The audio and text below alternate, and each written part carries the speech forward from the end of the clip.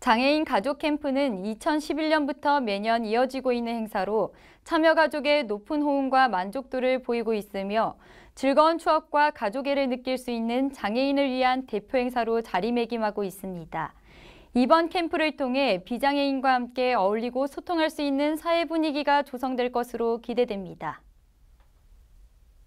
마포구가 관내 장애인 가족과 함께 1박 2일 일정에 우리 가족 추억 만들기 캠프를 개최합니다.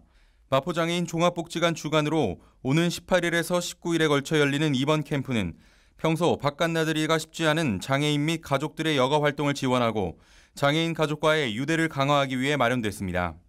마포구는 사전에 관내 거주하는 장애인 및 가족을 대상으로 참가 신청을 받아 185명을 모집했고 이들과 동행할 대학생, 직장인 등 자원봉사자 100명을 모집해 총 285명이 이번 캠프에 참여할 예정입니다.